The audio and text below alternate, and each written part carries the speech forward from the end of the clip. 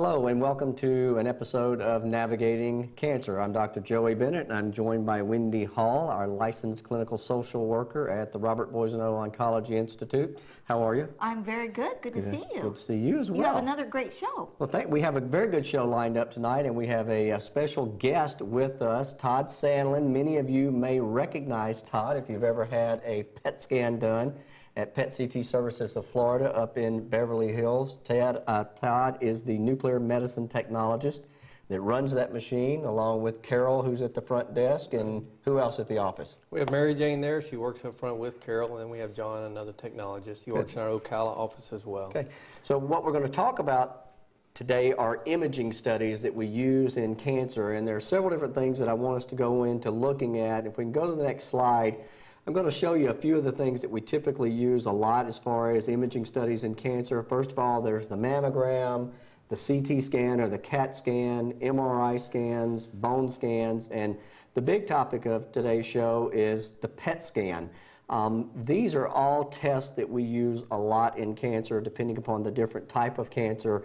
And I'm going to kind of show you a few pictures of what these look like. Uh, the first slide is actually what a mammogram looks like. And this is a normal looking mammogram. The top part is looking at both breasts from above, and the bottom part on your screen is looking at both of the breasts from the side.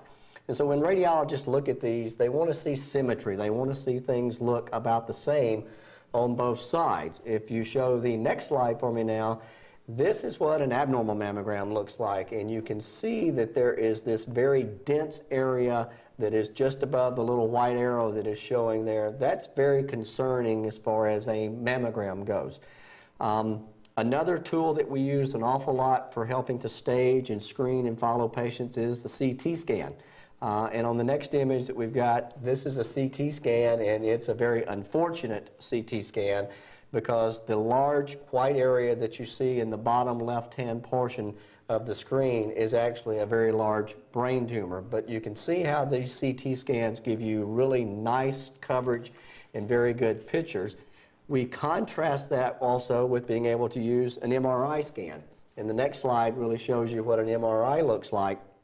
This is a sideways view of someone's head, and you can see their brain, you can see the nose, you can see their tongue, and their spinal cord. And if we'll come out and kind of show the whole screen, I can give you an idea of the different things that we're looking at here as far as where the spinal cord comes down into the spinal canal. So another excellent tool that gives you a chance to see different things of the body. Um, next slide is a bone scan. Um, many of you may have had bone scans before, and this is what a bone scan looks like. It is a bone scan because it only really looks at the bones. And unfortunately, this person has a lot of cancer throughout their body because all of the little dark spots, for the most part, that you see on this scan represent cancer. So this is another test that we can use and we get a really good idea of what the bones look like. The next generation, though, of scanning is what we want to spend a lot of time with tonight talking with Todd about, and it's PET scans. Um, PET scans have brought us into a whole new generation of doing studies because when you look at an MRI, when you look at a CT scan, you can see a mass or you can see a lump, but sometimes it's hard to distinguish scar tissue from normal tissue, and that's where the PET scan kind of comes in. Give me a little bit of background as to what the PET scan actually does. You know, why is it that we can see these things? Well, the way I like to think about a PET scan is that it's the only scan that shows physiology and actually function and what's happening. With an MRI, a CT, an X-ray, even a uh, ultrasound, you're getting a very clear picture, but it is just a picture, whereas a, a PET scan shows us at a molecular level the uh, uptake and, and what the body's trying to do to give us a good, clear picture in that way.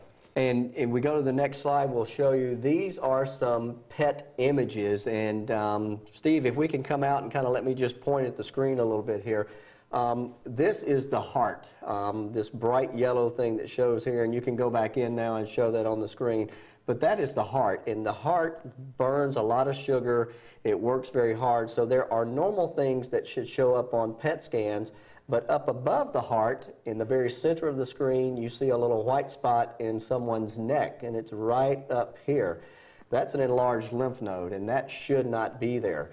Um, had we done just the CAT scan, and on this slide, you're seeing a couple of different things. Steve, if you can pull back out, This part is the CT scan, this part in the center is the PET scan, and this is a fusion of the two together. So when you come in, you get to see structures on the left-hand side, activity in the middle, and then you fuse the two together on the outside. And the beauty of us being able to do this is that if you have a lymph node somewhere in your body, or a mass that's growing in the body, and you do just the CAT scan over here, yes, you can see it, but we can't tell if that thing is alive or not. What I like to tell my patients is if you remember the old uh, Lite-Brite kits that children had a long time Right. ago, i- if you just have a picture, you just have a picture, and that's what a CT would be. And if you have a good radiologist, he can differentiate and he can, he can find a mass.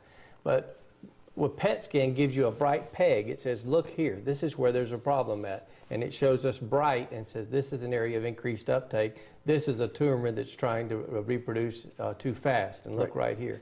And I mean, So and I when, of it. when you have the PET scans, and we'll talk about this a little bit more in the next segment, you're being injected with a radioactive glucose, sugar solution. Um, our bodies live off of sugar. We have to have glucose or sugar to metabolize for our cells to run and things of that nature. And I've had people before say, I'm going to go on a low sugar diet. Uh, that doesn't help. Um, our body, unless you're a diabetic, tends to regulate sugar very well anyway. Right. You cannot make your sugar go down so far that a cancer would respond or die from a lack of sugar. So you're getting injected with this agent, and normal cells in our body, even though they divide and reproduce to replace dead and aging cells, cancer cells grow uncontrollably. They just keep multiplying, they keep going. Um, and they burn up an awful lot of sugar. And so when you see these hot spots that we're talking about and what Todd called the uh, bright little peg in there, uh, that's a lot of sugar being burned up in that area, and it keys the radiologist off to, to tell us that something's going on. And, and the radiologist is another critical part of this test. It really takes some experience to know how to read these Right, things. because like you said before, there are certain areas of the body that are going to metabolize the sugar on a normal basis. We always expect the brain, the heart, the uh, bladder, where the, the glucose is excreted, and sometimes the kidneys to show bright on every scan. It's when we see areas of other uptake that we are, we're alarmed. And I think that that just goes into some experience with reading these studies. I mean, PET technology is still relatively new. Um, when it first came out, it was used for only a few types of cancers, and, and we've now really expanded the Well, scope of what we use What's made it so much better is the CT overlay over the PET because it gives us the clear definition, the 3D uh, rendering, and you're not just looking at a, this is a PET here in the middle. It looks a little bit uh, blurry, Mm-hmm. but when you have the CT with the PET, it gives definition as well as, as the uptake. Good. Uh, we'll be back in just a minute with the next segment, and we're going to actually kind of walk you through a PET scan.